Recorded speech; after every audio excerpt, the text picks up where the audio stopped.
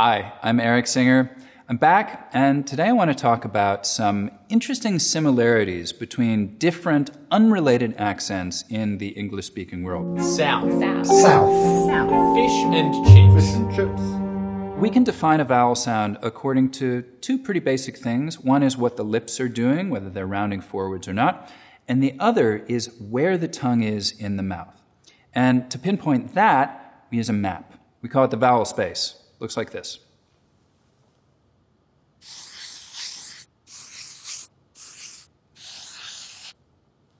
It's a quadrilateral. The front of the mouth, it's basically a person facing to the left like this. We're in a cross section. The front of the mouth is over here. Back of the mouth is over here. So let's talk about a feature I've talked a lot about before goose fronting. Goose fronting. Goose fronting. Goose fronting. What is that exactly? I've said it means the goose vowel is pronounced further forward in the mouth, but what does that mean? So if the tongue is up like this, somewhere up in this area, and the lips are rounded forwards, we have an ooh sound. You can probably feel that. Make an ooh sound like a 19th century Shakespearean actor or a 1950s Noel Coward character saying, you too. And breathe in some cold air over that tongue. You might be able to feel that it's arched up high in the back, right up here. Now, if that arch of the tongue moves forwards, and you get something that's arched up high but closer to the front of the mouth, something like u, then you've got goose fronting.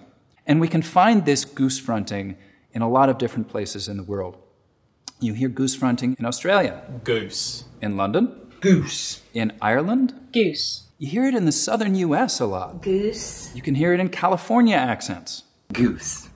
And here, for your viewing and listening pleasure, a goose fronting medley. Goose. Goose. Goose. Goose. Goose. Goose. Goose. Now let's talk about something called mouth raising.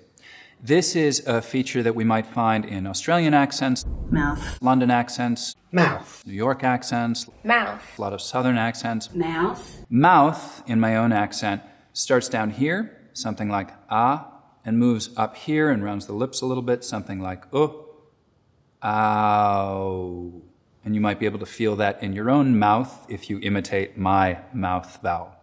Mouth raising, then, would raise the starting point. So instead of being down around here, it's gonna be a little bit higher and going to go something like ow. I'm not sure exactly which accent that was. They're all roughly similar, not exactly the same sound, but they're all going to start that mouth vowel from a little bit higher up. Here's a London version. South. Here's a New York version. South. Here's an Australian version. South. Here's a US Southern version. South. And here they are all up against each other. South. South. South. South.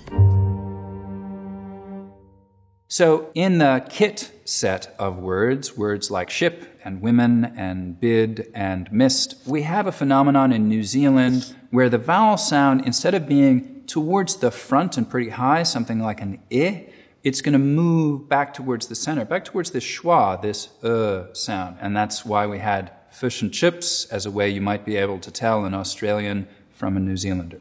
Fish and chips. Fish and chips. In South Africa, we have something very similar. We have kit centering as well.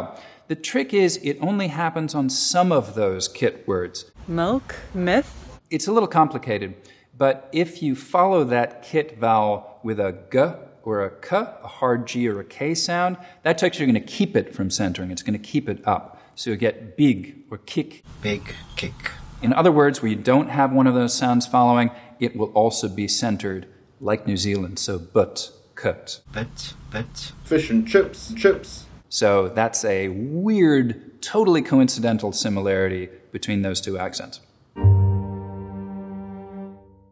Let's talk about a really similar start vowel in Boston accents and in Irish accents. Start, fa, trust in their heart or heart. Instead of a start vowel uh, like mine that might be very much towards the back of the mouth, R, right, it's followed by an R, but it starts back here, ah, this sort of low cupped area, we're going to have something that's much more fronted.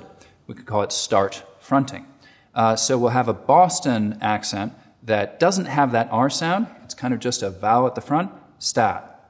Here's a Boston speaker. start, fa, In a very pronounced Irish accent, we're going to get a really clear version of that exact same vowel sound. We are going to hear it with an R after it, but the vowel sound is still this front ah, start. Here's one of those. Trust in their heart or heart. Start. Fa. So hopefully now you know what the hell I'm talking about when I use terms like higher, lower, fronted, backed, centered. It's a map.